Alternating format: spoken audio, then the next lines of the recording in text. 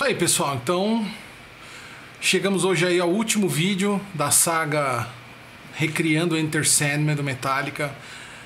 É, recriando aí, tentando recriar da melhor forma possível, com todos os arranjos originais, com todos os timbres originais. É, em algumas coisas eu sei que eu consegui recriar, em outras nem tanto. É, eu vou dar uma, um, vou fazer agora para vocês aqui no Reaper um apanhadão geral da, do que eu fiz, tá? É, nos últimos passos aí e, e já nesse é, nesse vídeo eu vou disponibilizar o link para a música uh, finalizada no, no no Audio Mac, mas assim recomendo a vocês que só ouçam a música depois que tiverem visto esse vídeo, dado aquele like joia para ajudar a gente, beleza? Vamos lá então. Vou para a janela do Reaper aqui. É, como vocês podem ver, hum, tem aqui a mix. Aí tem aqui algumas coisas a mais que eu fiz. Bom, gravei o solo, né? Aqui tá a guitarra solo com a minha pedaleira, a Zoom G7.1 UT. Usei na verdade é, o timbre dela, não usei nada de timbre dela, né? Só usei o, o pedal de expressão mesmo, o wah, Uh, aqui tem a gravação de voz, fui eu mesmo que gravei. Assim, lógico, não vai ficar igual nunca do James, porque os nossos timbres são completamente diferentes. O jeito de cantar é diferente, o microfone é diferente. Eu tentei chegar na equalização de voz dele assim o mais próximo que eu consegui. Mas vamos lá, né? Então tem aqui primeira voz, segunda voz, tem a voz da criança que na verdade foi a minha noiva que gravou para mim. vocês vão ouvir aqui, vou colocar um trechinho para vocês ouvirem. Now I lay me down to sleep. Pray the Lord my soul to keep. If I die before I wake, pray the Lord my soul to take. Então fica parecendo uma voz de criança.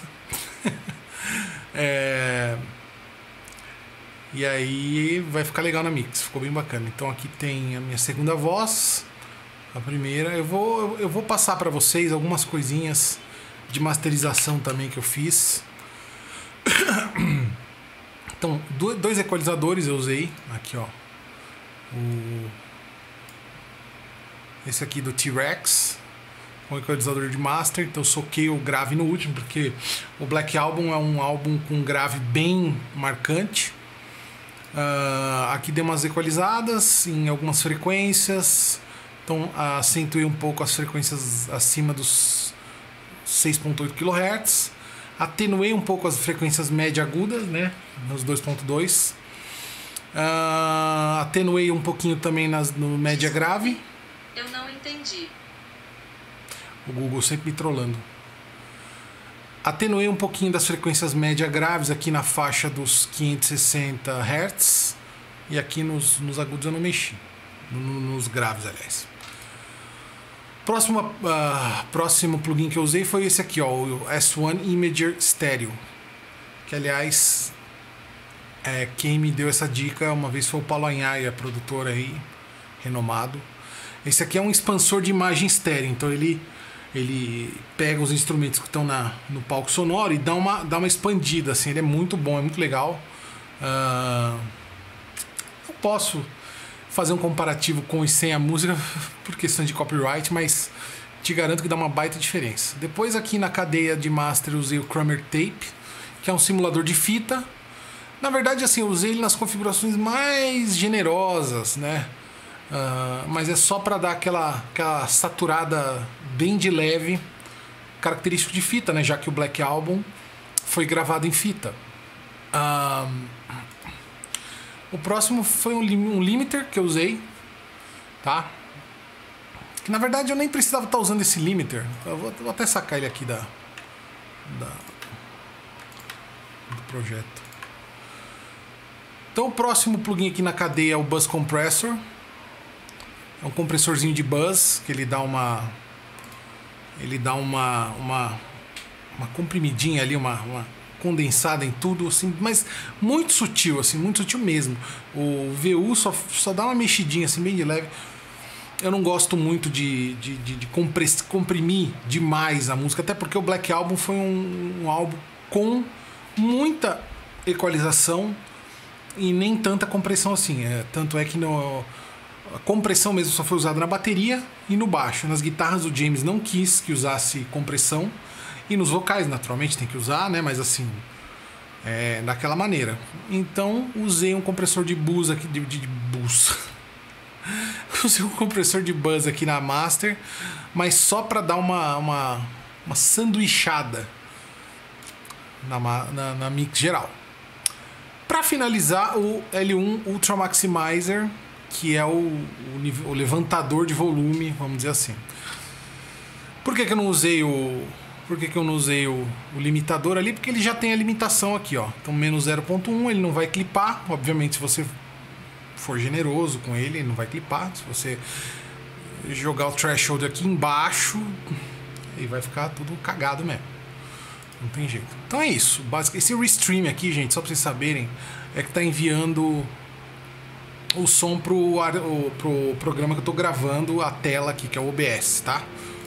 Então não é nada. Não tem nada a ver com a mix. Eu vou tocar os instrumentos separados, tá? Legal, a gente começa a gravar, passa helicóptero, passa tudo. Eu vou tocar assim um trecho dos instrumentos separados, tá?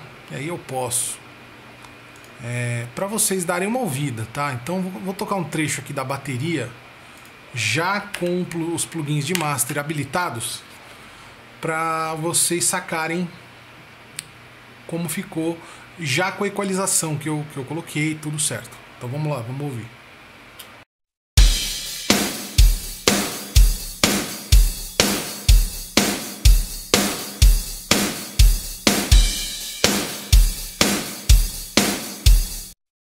Só para vocês compararem sem, uh, sem nada na master.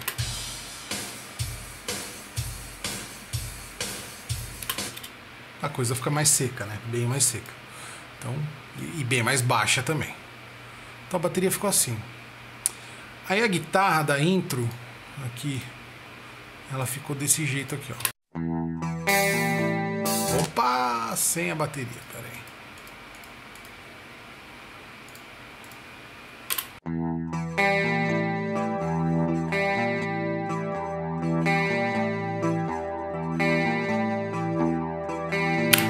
Esse repeat, tá vendo? Com menos 21 dB de sinal wet, é por quê? Se vocês repararem ouvindo só os sinais de guitarra da gravação original, o, o, a guitarra limpa ela tem um, um oitavador ali, uma oitavinha para cima. Eu não sei se eles usaram uma guitarra com 12 cordas, eu não sei o que, que foi, mas dá esse efeito, então eu resolvi reproduzi-lo artificialmente aqui na nossa mix. Ah, em seguida vem o baixo, então vou tocar um trecho do baixo aqui separado para vocês.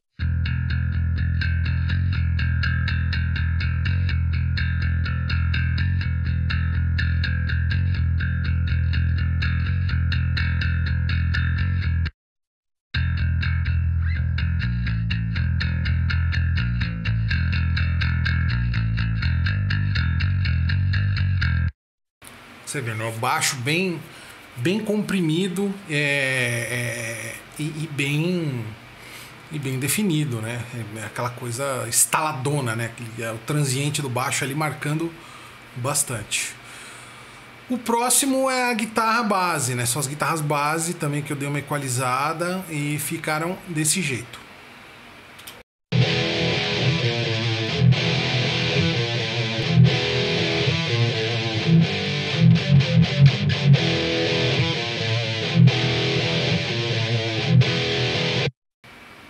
Isso aí. Essa parede de guitarras. É, eu, acredito, eu não sei se eu tinha mostrado já para vocês, mas aqui na aqui na, no, no subcanal de guitarras base eu acrescentei um corozinho bem de leve. Eu gosto muito desse chorus aqui, tá? O Blue Cat. É um chorus bem bem na cara, assim, eu gosto. E você pode regular ele ao seu contento. Então eu deixei bem para dar aquele som mais tecnológico, né? Para mix. Ah, tem o solo, né? Ah, tem aquela parte que é para dar aquela aquele punch na, na na mix geral. O que, que temos? Aqui temos o solo, é, tem aquele, aquela parte da introdução que ele só faz isso aqui.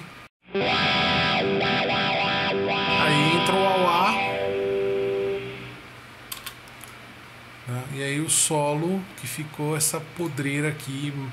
Aí, gente, questão de tocar o solo já é uma outra pegada. O timbre eu consigo reproduzir, obviamente. Mas tocar que nem o Kirk, impossível. Então eu fiz o melhor que eu pude.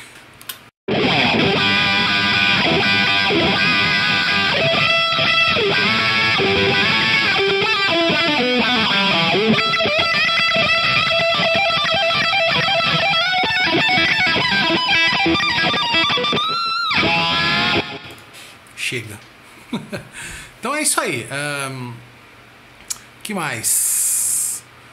Vocal. Aí tem aqui. Dreams of war, dreams of lies, dreams of dragons fire, and no things that will bind. Rare. No vocal aí é compressão, equalização de Esser, tá? De compressão eu gosto de usar muito esse aqui, que ele simula aquele distressor que para mim é disparado assim, o melhor compressor de voz sem comparação. Então eu uso o Deathcore da linha Modern, né? Tem uma, uma linha freeware, né? Gratuita de plugins chamada Modern. E tem várias coisas, tem compressor, gate, limiter, reverb, um monte de coisa. E eu usei para voz junto com equalização, né, com o equalizador da Waves, que é esse aqui, nesses parâmetros aqui. Aí mandei, fiz uma mandada para reverb e delay, né? Bem assim, de boa. Hum, aí tem a voz, segunda voz. Aí tem a minha fazendo a, o, o joguinho lá com a com a voz da minha noiva. Now I lay me down to sleep. Now I lay me down to sleep. Pray the Lord my soul to keep. Pray the Lord. Vocês vão ouvir tudo isso na mix final. Bom, então é isso, gente. Acho que tá na hora de vocês ouvirem aí a gravação final e me dizerem o que acharam. É, eu vou colocar no link também da descrição a gravação original né, do, da Enter do Metallica para vocês é, me dizerem nos comentários o que acharam, se tá parecido, se não tá parecido, o que, que tem que melhorar. É, obviamente, como eu falei, cantar e tocar, isso é de cada um. Não tem como eu. Eu consigo até, eu tenho uma pegada de base assim, bem parecida com a do James, né? Mas solo, essas coisas, uh, já, já vocal, isso é uma coisa que já difere bastante. Mas bom, é isso aí. Então espero que vocês tenham gostado. É, aí quem gostou, compartilha meu vídeo aí, se inscreve no canal, divulga pra galera que é muito importante para a sobrevivência do estúdio. Usem máscara, não saiam de casa, vamos acabar logo com essa pandemia aí. Pessoal, muito obrigado aí pela força, valeu!